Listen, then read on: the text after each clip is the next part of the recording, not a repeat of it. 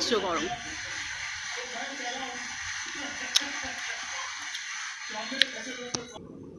Hi friends welcome back to my channel তোমরা দেখছ PoK আর নাও আমি এখন একটা আমার ব্লগ স্টার্ট করলাম। এখন খেতে বসেছি দেখেই বুঝতে পারছ, এখন হলো লাঞ্চ টাইম আর আজকে আমি দুপুরবেলা বানিয়েছি এই যে পটল ভাজা, আর এটা হলো একটা পকোড়া টাইপের বানিয়েছি।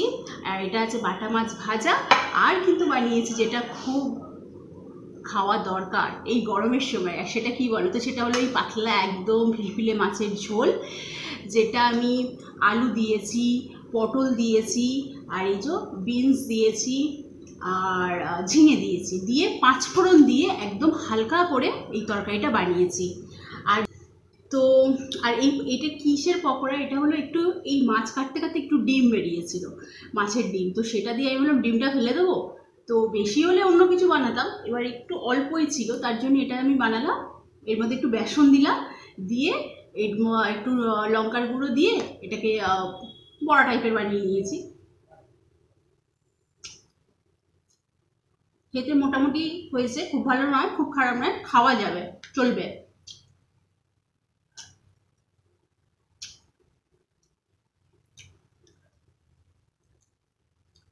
আর দেখতে পাচ্ছ এত গরম এত গরম যে মানে আমি মানে বসে মানে খেতেও পাচ্ছি না এত গরম। আর ফ্যানটা চালালে তোমরা কথাগুলোও ভালো করে শুনতে পারবে না। তাও চালিয়ে দিলাম। বিভৎস গরম হচ্ছে সেই জন্য। আর গরমে কিন্তু শশা খাওয়া খুব জরুরি। বেশ ভালো করে লেবু লেবু টেবু দিয়ে বিট নুন দিয়ে খাওয়াটা খুব জরুরি। বর চিন্তাই করছে শশা।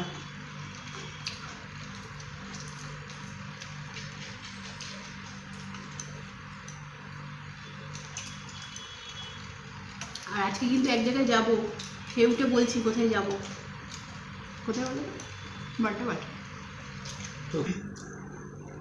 আর বাটা মাছ খেতে মানে ভাজা খেতে কার কার ভালো লাগে অবশ্যই কিন্তু কমেন্ট করে আমাকে কিন্তু জানাবে যে এই বাটা মাছ খেতে কড়কড়ে করে ভাজা হলে কার ভালো লাগে। আমার তো সব থেকে প্রিয় যে এই বাটা মাছ ভাজা।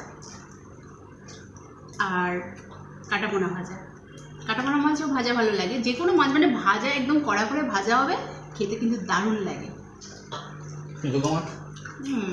ওসব খাই না আমি। হুম ভাজা হয় না। ভাজা ভালো লাগে না। যে কোনো মাছ ভালো না যে কোনো মাছ বড় মাছ বড় মাছ ভাজা ভালো লাগে চিংড়ি মাছ? সেটা আবার কি? সেটা সমুদ্রে হয়। হুম না? ওসব খাই না আমি।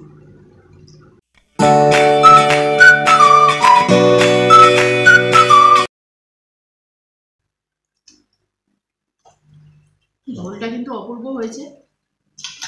এরমভাবে খাবে ঝোল করে সবাই। রান্না করাটা দেখলি তো না। তাহলে রান্না? করাটাও একদিন দেখিয়ে দেবো তোমাদের সবাইকে। ঠিক আছে খাওয়া দাওয়া সেরে আবার তোমাদের সাথে কথা বলছি। নতুন কোনো খাবার নিয়ে আবার বসে কথা বলছি। তোমরা কিন্তু যেও না ওয়েট করো। আর এই খাওয়া দাওয়া সেরে এই জাস্ট এবার একটু বসলাম। আর এখন আমি নিয়ে বসেছি আম। মানে মানে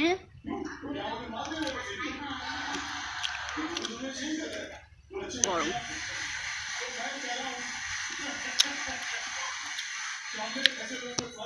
আর এটা হলো আমাদের গাছে কাঁচা মিঠে আম। আর আজকে যাব আমি ওই বার্থডে বাড়িতে যাব মানে মনা বেবি, তার বার্থডে আছে, তো সেখানে যাব আমার মায়ের ওখানে, কিন্তু মায়ের ওখানে গিয়ে থাকব না, চলে আসব। চলে আসব। আর যাব রাত্রিবেলা। মানে অনুষ্ঠানটা হবে রাত্রে, তো রাত্রেই যাব। তো কীভাবে আমি কি ড্রেস পরছি, কীভাবে আমি সাজুগুজু করছি, অবশ্যই তোমাদের সাথে শেয়ার করব। আমি তাহলে এখন একটু রেস্ট করি, আবার বিকেল সাড়ে পাঁচটা, ছটা নাগাদ আবার অন হব।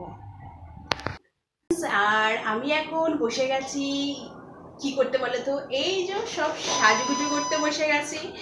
আর ওই যে সকালে বললাম জন্মদিন বাড়িতে যাব, কিন্তু এত গরম পড়েছে যে মানে মানে ড্রেসও পরতে মানে এত এত বিভৎস গরম পড়েছে যে কি করব নিজেই বুঝতে পারছি না। কারণ আমার মুখে প্রচণ্ড ঘাম দেয়। তাই ময়শ্চারাইজার লাগাই প্রাইমার লাগাই পাউডার লাগাই, যাই লাগাই না কেন সব ধুয়ে চলে যাবে। তবু যাচ্ছি, আমার একা কিন্তু ইনভাইট আর কিন্তু কারণ না। শুধু আমি একাই যাচ্ছি। আর একটু সাজ, না সাজলে কি হয়? সেই জন্য প্রথমে আমি ময়শ্চারাইজার লাগিয়ে নিচ্ছি, হালকা করে একটু। প্রাইমার লাগালে ভালো কিন্তু প্রাইমার যে মেকআপটাকে ধরে রাখবে, সেই ক্ষমতাটা এখন এই গরমে হবে না। কারণ যা বিভৎস গরম পড়েছে, তে প্রাইমারও থাকবে না, কিছুই থাকবে না। এই যে ময়শ্চারাইজার লাগিয়েছি কি আছে? পুরো ঘেমে ঘেমে চান হয়ে যাচ্ছে একদম। আর আমি প্রচণ্ড ঘামি, প্রচণ্ড। সেই জন্য আজকে বেশি কিচ্ছু লাগাবো না, কিচ্ছু করব না। যেগুলো না লাগালে নয়।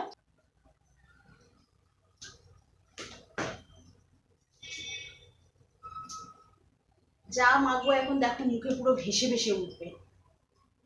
এখন কিচ্ছু লাগানো যাবে না। এই যে সব ভেসে উঠছে। ঘেমে চান হয়ে যাচ্ছে পুরো।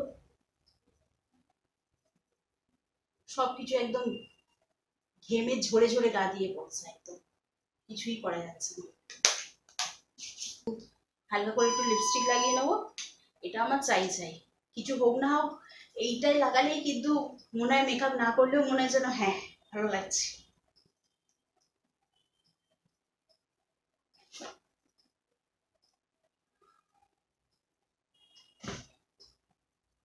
তবে বেশি না, হালকা করেই লাগাবো।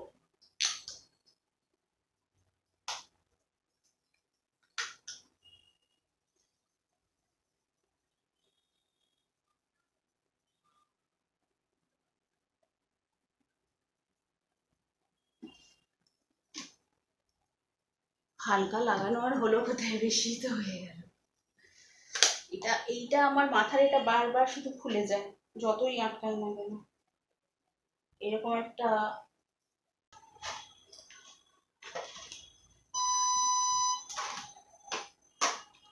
আর ভাবছি কাজল লাগাবো কিনা, কারণ কাজলটা লাগালে, আমার কাজল লাগাতে খুব ভালো লাগে। কিন্তু এই কাজলটা যদি আমি এখন লাগাই আর এই গরমে যদি ঘেমে ঘেমে লাগে, তাহলে চোখগুলো পুরো ভূতের মতো লাগবে। সেই জন্য আমি লাগাবো কিনা বুঝতে পারছি না।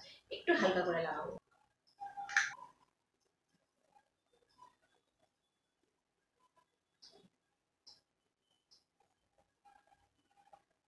গরমের সময় কোথাও নেমন্তন্ন করলে ভালো লাগে না। কারণ এক তো সা- সাজাও যায় না, ভালো কিছু ড্রেস পরলে সেটাও পরা যায় না। কারণ এই এক প্রবলেম গরমে। এর থেকে বাবা শীত অনেক ভালো অত প্রবলেমও হয় না। মানে বিন্দাস যেখানে যাব সেজে গুজেও যা মানে যাওয়া যায়। আর সুন্দরভাবে ঘোরা যায়, খাওয়া যায়, সব দিক থেকে একদম কিন্তু খুব ভালো শীতকালের দিকটা। কিন্তু গরমে সেটা পসিবলই হয় না। এই তো আমি এখন এই যে মেখেছি তো ঠিক আছে, আর দু সেকেন্ডের মধ্যে দেখবে আমার পুরো ঘাম ঝরে ঝরে পড়ছে, এত ঘামি আমি। আর যারা ঘামে তাদের জন্য গরমের সময় মেকআপ করাটা খুব মানে প্রবলেম হয়ে যায়, খুব প্রবলেম হয়ে যায়। এমনি তো সেভাবে মেকআপ আমরাও তো করি না। কি মেকআপ করবে? এই যা জানি, যতটুকু জানি, সেইটুকুই করি। তো সেটাই। কিচ্ছু করলাম না জাস্ট ওই পাউডার লাগিয়ে নিলাম, নইলে মোটামুটি রেডি এবার আমি ড্রেসটা পরে নিই, ঠিক আছে? নিয়ে আবার তোমাদের সাথে কথা বলছি। বাস আমি পুরো রেডি হয়ে গেছি আর কানে পরেছি এই দুলটা কিন্তু লাস্ট মোমেন্টে আমি আমার ড্রেস মানে যেটা পরবো ভেবেছিলাম সকাল থেকে সেটা পরতে পারলাম না। কারণ বিভৎস গরম হচ্ছে পরে, এই যে আমি এটা পরবো বলে ঠিক করেছিলাম, কিন্তু এর দুটো পার্ট আছে, একটা ভেতরে, একটা ওপরে। দুটো পার্ট আছে, অতএব মানে আরও মানে যতটা বেশি গরম পড়েছে, তার থেকে আরও বেশি গরম লাগছে। বাধ্য হয়ে আমি, দরকার নেই বাবা, এই গরমের হাত থেকে আগে আমাকে বাঁচতে হবে। তো আমি একটা এমনি সিম্পল একটা কুর্তি নিয়ে নিয়েছি, আর এই ওনাটা বেশ গর্জিয়াস টাইপের তো এটা নিয়ে নিয়েছি, ব্যাস, এটাই। আর এই গরমে এই এক প্রবলেম মানে যেটা পরবো বলে ভাবছি, সেটা মানে পড়তেই পারলাম না। মানে সকাল থেকে ভেবে রেখেছি, কাল থেকে ভেবে রেখেছি, ওটা পরবো কিন্তু এখন লাস্ট মোমেন্টে পুরো পড়তে পারলাম না। ঠিক আছে? তো তো আজকে ব্লগটা আমি এখানে শেষ করলাম। আর জন্মদিনের ব্লগটা আমি নেক্সট দিন দেবো। মানে আজকের পর থেকে এবার রাত অবধি কী করছি সেই ব্লগটা অবশ্যই আমি পরের ভিডিওতে তোমাদের সাথে শেয়ার করে দেবো, ঠিক আছে? আর আজকে কেমন লাগল আমাকে কমেন্ট করে অবশ্যই জানাবে। আর তাহলে আমি বন্ধ করলাম। চলে এখন সবাই ভালো থেকো। আর নতুন কেউ আসলে প্লিজ সাবস্ক্রাইব করতে ভুলো না। এরকম ভালো ভালো ভিডিও পাওয়ার জন্য। ওকে চলো।